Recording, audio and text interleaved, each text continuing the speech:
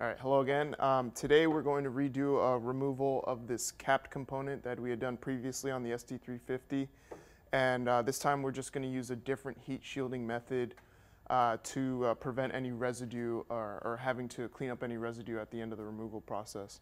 So today our uh, new heat, shield uh, material is this ceramic based material we got from Best Inc.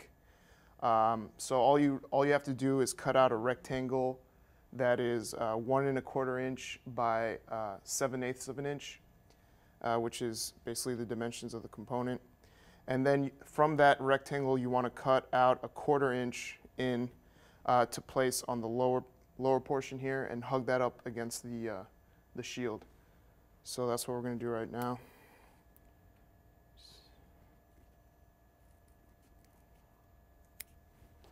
Okay, so Oops. Just put that there and then put the rest right on top.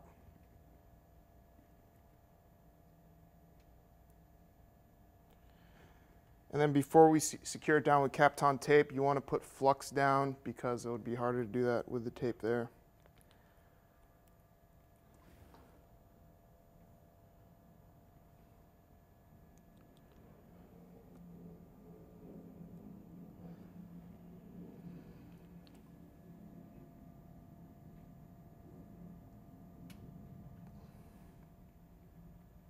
Okay, and we just want to secure it down with one long strip of Kapton tape.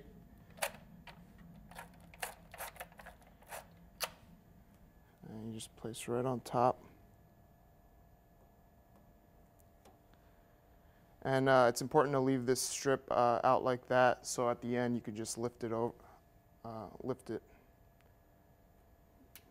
Okay.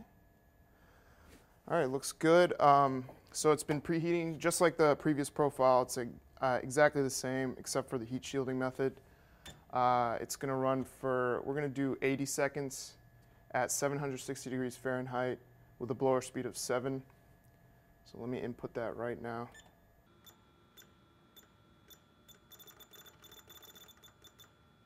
So we'll do 80 seconds.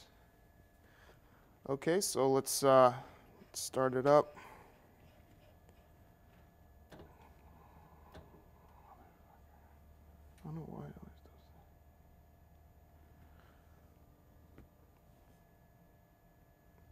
Okay.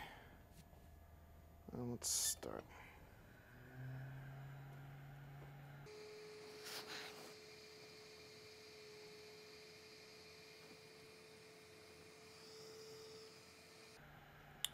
And just like before, we're going to use the handheld vacuum pick. I'll show you how to do that.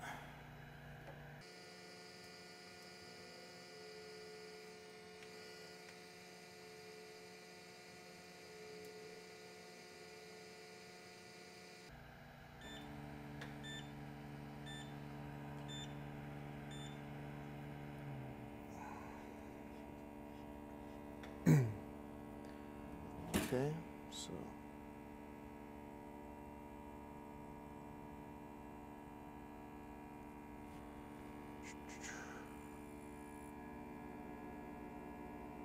There you go. Um, thanks.